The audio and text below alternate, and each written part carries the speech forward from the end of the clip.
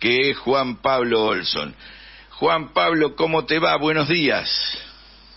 Buenos días, Néstor. Un gran abrazo para vos y para toda la audiencia. Bueno, vos escuchaste un poco lo que venía contando yo. A mí me gustaría que cuentes para que la gente entienda eh, los que son convocados y seguramente en este programa va a haber varios oyentes que vamos a encontrar mañana en la marcha decime el origen para que la gente sepa por qué ahora, un día 11 de octubre, a pocos días de las elecciones, eh, Deuda por Clima, que es la organización global que vos integrás y de alguna manera co-conducís con otros compañeros, convoca a este eh, acto para mañana frente a las oficinas en Capital Federal del Fondo Monetario Internacional. Sí, eh, nosotros estamos convocando a una acción global. Eh, para leer el panorama internacional está aconteciendo la reunión anual en Marruecos, en África, desde el 9 al 15 de octubre, de la reunión anual del Fondo Monetario con el Banco Mundial. El tema es que esas reuniones anuales definen la agenda para nuestros países de los procesos de endeudamiento que nosotros la llamamos agenda de colonialismo financiero para profundizar deudas ilegítimas impuestas a, a la mayoría de los países del sur global y el gravísimo problema es que estos países ya padecen procesos de pobreza, deuda, a lo que se le agrega la crisis climática. Por esto, por eso nuestro movimiento global, que tiene presencia en América Latina, en África, en Europa, en Estados Unidos y en el sudeste asiático, articula un movimiento de cuestionamiento del Fondo Monetario en todos estos países, porque si uno evalúa el contexto global, hay un escenario conjugado de crisis climática muy grave que se profundiza, que todos están alertando y todos vemos eh, la profundización de la gravedad del calentamiento global y la crisis climática, pero el problema es que esa crisis climática que preocupa a toda la comunidad global tiene mayores efectos en países que tienen mayor vulnerabilidad al calentamiento global, que coincide con los países de América Latina y el Caribe, las islas del Pacífico, África y el sudeste asiático. Los países más vulnerables a la crisis climática más saqueados históricamente, más empobrecidos y más endeudados. Hay una grave crisis climática y hay una grave crisis de deuda de por lo menos 54 países del sur global que destinan la mayor cantidad de sus ingresos a pago de intereses de deuda o a pago de deuda. Entonces nosotros llamamos a una alerta, convocamos a una articulación de movimientos climáticos, ambientales, sociales, sindicales, movimientos feministas, pueblos indígenas, porque si no hay una gran movilización que cuestione las deudas financieras ilegítimas, que reclame a nivel global por la anulación de las deudas financieras ilegítimas del sur global, esta ecuación de pobreza, deuda y crisis climática realmente va a tener consecuencias muy graves no solo que las está teniendo, sino que va a afectar la calidad de vida del conjunto de la población del sur global, que representa 4.000 millones de personas, que se encuentran en un estado muy grave ante una dirigencia política que lo que hace es profundizar el endeudamiento. Entonces tiene que haber reacciones, sobre todo una movilización popular, para poner en la agenda otro debate, que es quién le debe a quién quiénes son los responsables del calentamiento global, quiénes generan este saqueo y quiénes deben financiar la transición, la adaptación y la mitigación del calentamiento global, que es la verdadera deuda ecológica, como la llama el Papa Francisco, de los países desarrollados con los países del sur global. Ese es un verdadero debate. No dar estos debates en serio implica una irresponsabilidad, porque como lo señala la Organización Meteorológica Mundial, de acá en adelante, los próximos cinco años, van a haber temperaturas de calor jamás registradas, con efectos en la salud humana y en los sectores más pobres de la población. Entonces, por eso decimos, ante la crisis climática, la deuda empobrece y la deuda mata, mata porque genera condiciones que no garantizan la calidad de vida, que no garantizan la salud de la población, y es por eso que convocamos a esta actividad de mañana en Argentina, pero hay otras movilizaciones y acciones de, protesta en África, en Sudáfrica, en República del Congo, en Ruanda, en Marruecos mismo, en Estados Unidos, en Alemania, en Italia, en España, en otros países de Europa, en Argentina, en México, en Panamá, en Colombia, en Perú, en Chile, toda esta articulación de movimientos para decir no a esta agenda de colonialismo financiero y para plantear un único lema y mensaje unificado que la única deuda es con los pueblos y con la naturaleza, Néstor. Sí, ahí vos tenés una historia, para los quienes no conocen a Juan Pablo Olson, él trabajó desde pequeño, es un hombre joven, con Pino Solanas, con Alcira Argumedo, que es su madre, ya fallecida, eh, y con todo ese espacio que creó en algún momento el Moreno, la defensa de la soberanía energética, pero vos tenés un trabajo también de reconocimiento del tema medioambiental que se sale un poco de lo que es la estigmatización del, de la defensa del medio ambiente, que bueno, al principio era la defensa de las ballenas, la defensa de las playas, y ahora se profundiza con esta posición. ¿Vos cómo ves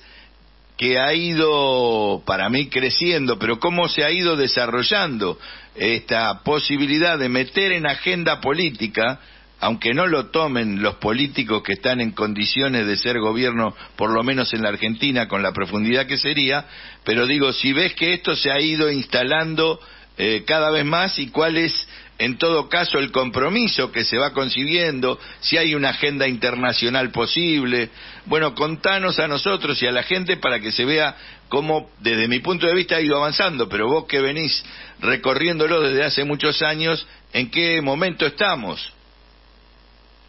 Sí, yo creo que hay cada vez más conciencia social sobre la importancia de la agenda ambiental, que en realidad, Néstor, hay que decirlo, no es solo ambiental, Eduardo Galeano decía que hablar de ecología sin hablar de soberanía era hablar de jardinería. Acá nadie está hablando solamente de un aspecto marginal en donde uno queda ubicado en un lugar de eh, marginalidad o hippie. Acá hay temas de ambiente, temas de soberanía, temas de derechos humanos, temas de calidad de vida en un escenario muy grave donde nadie duda que el principal problema de la humanidad en términos estructurales es la problemática del calentamiento global. Todos lo sabemos, nadie lo puede negar, aunque sí hay que abrir un capítulo en Argentina particularmente de negacionismo de uno de los candidatos a presidente, que bueno, ahí tenés el tema del ambiente y la soberanía puesto en el centro, eh, aunque no sea a veces explícito, cuando el candidato Sergio Massa dice que el principal económico de la Argentina fue la falta de ingresos por una sequía récord que impidió la exportación eh, de, un, de un monto de alrededor de entre 19 mil y 21 millones de dólares por una sequía, una pérdida económica, quiere decir que un fenómeno climático va a afectar nuestras vidas, nuestra economía, va a afectar la dinámica de nuestro país acá hay una gran discusión que es defensa de la soberanía, de los derechos humanos y de la calidad de vida de los argentinos, de la población de América Latina y del sur global de África. Tiene que haber un debate donde se tome conciencia que la destrucción del ambiente, que la, la, digamos, la no solución del financiamiento de la adaptación y la mitigación del calentamiento global va a tener consecuencias muy graves a nivel ambiental y a nivel de calidad de vida humana, muchos líderes lo han planteado desde hace décadas. El mismo eh, Juan Domingo Perón, desde el año 72, plantea esta problemática como un tema que realmente va a definir la calidad de vida de la, de la población en términos de destrucción de los ecosistemas, en el año 72 envió su mensaje a los gobiernos y a los pueblos del mundo alertando de que con este nivel de destrucción de los ecosistemas para promover un modo de producción y consumo de beneficio de las grandes corporaciones y los grandes grupos económicos, iba a dejar a los pueblos del sur global en un escenario realmente crítico y en adelante, después de ese discurso de Perón, desde hace 50 años que se discute el tema climático, otros líderes como Fidel Castro en 1992, otros líderes como actualmente el Papa Francisco o el mismo secretario general de las Naciones Unidas o el Pepe Mujica son líderes que de alguna manera están diciendo hay que tomar conciencia de que hay que generar un cambio en el modo de producción y consumo y este debate es un debate financiero. Vos lo mencionás muchas veces. Acá nunca en la historia de la humanidad hubo tal concentración de la riqueza en pocas manos, un 1% de la población que, que controla alrededor de más del 60% de la riqueza que se genera en el planeta. Un mundo para pocos, donde si se continúa este esquema de pobreza, de crisis climática y de deuda, va a haber un escenario de territorios de sacrificio y población descartable, como lo llama el Papa Francisco. Y ese es el modelo que hay que discutir desde una visión de justicia social, histórica, de justicia climática, justicia ambiental, donde se articulen derechos de nuevo tipo, donde el derecho a un clima y a un mundo habitable es un nuevo debate y ahí el problema, te diría, para cerrarte la idea, del grave problema de tener un candidato que niega el calentamiento global y que tiene un plan para la Argentina, posiblemente con altas posibilidades de triunfar su, candidatura, el candidato de Miley, que tiene un plan conjugado de destrucción de la moneda nacional del peso con la dolarización, destrucción del medio ambiente, destrucción del Ministerio de Ambiente y de las políticas de Estado que en todo caso pueden generar políticas públicas para defender el ambiente, negación de la dictadura militar, negación de los 30.000 desaparecidos, negación del calentamiento global. Entonces es un candidato realmente muy negativo con una agenda que viene a profundizar una gran crisis en Argentina de la cual va a ser muy difícil salir si se logra avanzar con esa agenda de mi ley que tiene por detrás el financiamiento de grandes grupos económicos como BlackRock, de grandes fundaciones que pertenecen al Partido Republicano Norteamericano, en un escenario de un mundo en crisis donde hay que tomar conciencia de lo que significa la, la vía Milei, la alternativa Milei, de lo que fue un símil en Brasil con Bolsonaro que implicó la destrucción inédita de la Amazonía en Brasil o Donald Trump en Estados Unidos, que significó la destrucción de los organismos de control de, ambiente y de calidad del agua, etcétera, en Estados Unidos. Entonces es un escenario particular en el cual, dentro de los ejes principales que pesan sobre la economía, es un endeudamiento de una deuda financiera ilegítima que en realidad fue una estafa que venimos arrastrando desde el préstamo que el FMI le hizo de manera incumpliendo con su propio estatuto, en principio a Mauricio Macri, que se legitimó después con Alberto Fernández y Martín Guzmán, y seguimos arrastrando como una estafa que pesa gravemente sobre la Argentina y por eso convocamos a esta acción de protesta frente a las oficinas del Fondo Monetario mañana, 11 de octubre a las 11 de la mañana en Paraguay 1178 a todos los movimientos sociales, ambientales, sindicales, feministas, eh, políticos, académicos, universitarios, porque creo que la, la sociedad se tiene que movilizar. Sí, yo coincido y por eso lo impulso junto a otros compañeros y compañeras, y además porque hay un trabajo, a ver, la contradicción principal en la década del 70 tenía un formato, en los 90 para rechazar las privatizaciones tenía otro, pero hay una consecuencia de esa historia de entrega, de sometimiento, de privatizaciones, que quiere coronar ahora, con esto, y bien vos lo decías, con este candidato eh, de la derecha, pero que es un candidato que tiene apoyos económicos muy fuertes. Yo me acuerdo de Alcir Argumedo cuando me decía, eh, me regalaba un libro que, que se llamaba Mega Capitalistas, donde marcaba dos cuestiones muy grandes que hay que publicitarlas, debatirlas, viralizarlas para que la gente entienda porque lo verdaderamente revolucionario hoy es pelear contra las deudas, es defender el medio ambiente e impedir que ese combo termine descartando a la gente. En algún momento se discutía desde el marxismo, y ojo que no reniego del marxismo ni del materialismo dialéctico, que bueno, la lucha de clases generaba también el capitalismo un grupo de trabajadores desocupados para bajarle el precio a los trabajadores ocupados. Pero lo novedoso de este momento, que ya tiene varios años, es que hay personas de descarte. Vos lo dijiste ahí como al pasar. Me gustaría que para ir cerrando lo, lo profundices eso. A esta sociedad del 1%, que controla el 1%, que concentra la riqueza, no le importa casi la mitad de la población del mundo. Por eso es personas de descarte, ciudadanía de rescate y obligándole a lo sacrificial, aunque parezca mentira y nos lleve a otras etapas de la historia, es así. Sí, Néstor, lo que hay que tomar conciencia, que esto lo plantean los científicos del panel intergubernamental de cambio climático, la Organización Meteorológica Mundial y distintos organismos el monitoreo del problema del calentamiento global es realmente muy grave y uno puede entrar en sí mismo, pero básicamente va a afectar con fenómenos climáticos extremos, con inundaciones, sequías, olas de calor, que uno las está viendo en el hemisferio norte y las vamos lamentablemente a padecer más en profundidad en el, en el hemisferio sur. Si uno ve claramente que vamos los próximos 5 años, 10 años, 15 años, a un escenario conjugado de calentamiento global,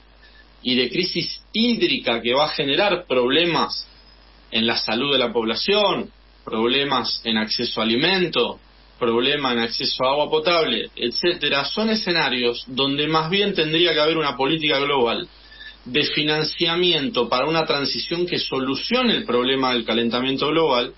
y que haya una garantía de derechos al conjunto de la población global de un modelo de mundo que sea democrático, participativo y que respete los derechos del conjunto de la mayoría de la comunidad global, sobre todo de los sectores más vulnerables. Y ahí es donde entra en juego un diagnóstico preocupante, porque en vez de preocuparse por los sectores más vulnerables de la población, los liderazgos a nivel mundial, acá todavía prima los intereses de las principales corporaciones petroleras del planeta que financian candidatos en elecciones decisivas para los distintos países para que nieguen el problema del calentamiento global y retomando esa denuncia que hizo en su momento, en el peor momento de la dictadura militar argentina, Rodolfo Walsh, que decía, el plan económico de la dictadura militar eh, para el cual se llevan adelante las torturas, los secuestros, las desapariciones, los asesinatos, el objetivo es un plan económico de condenar a la miseria a millones de seres humanos. Si uno toma ese diagnóstico de Rodolfo Walsh, uno puede ver que acá hay un plan, de alguna manera, de una élite del Fondo Monetario, de la cumbre de Davos, de los países poderosos del G7, que evidentemente, si siguen endeudando a los países del sur global en un escenario grave de crisis climática, es evidente que hay un plan de condenar a miles de millones de personas a escenarios de pobreza que se agravan con una crisis hídrica proyectada en las próximas décadas y con el calentamiento global. Si uno ve ese escenario y ve que en vez de buscar soluciones, estos grupos de poder proyectan endeudamiento, uno se da cuenta que acá hay un grave problema de población descartable, territorios de sacrificio, profundización de los esquemas de pobreza, saqueo, colonialismo y deuda. Por eso decimos, si uno lee todos estos elementos, dice, acá hay un plan que proyecta tener un grupo de la población de la comunidad global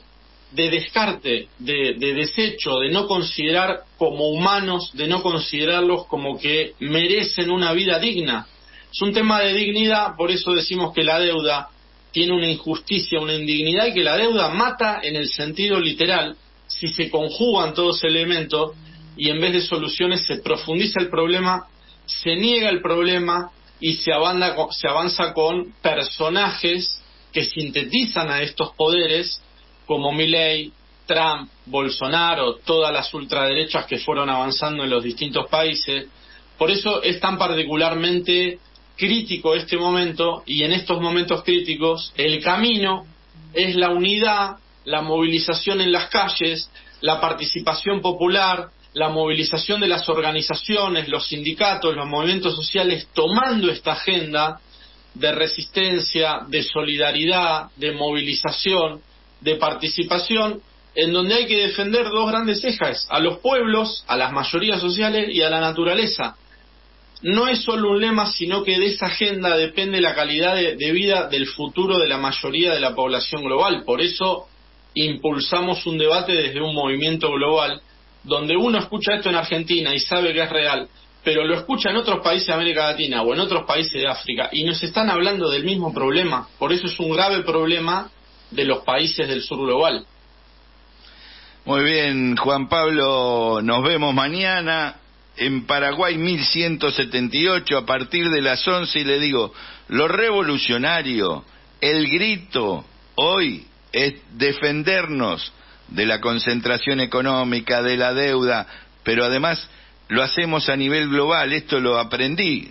Juan Pablo me ha ayudado a comprenderlo, que se hace en todo el mundo. Tal vez no sea masivo, pero esto no importa por ahora. Sí es, y lo sabe el Fondo Monetario Internacional, que cuando le golpean las puertas en todos los países al mismo tiempo, está en un problema. Por eso lo revolucionario hoy a pocos días de las elecciones es defender estas consignas. Un abrazo grande, Juan Pablo, y nos vemos mañana y le seguimos dando manija en este programa. Muchas gracias, Néstor. Un abrazo grande. Un abrazo grande.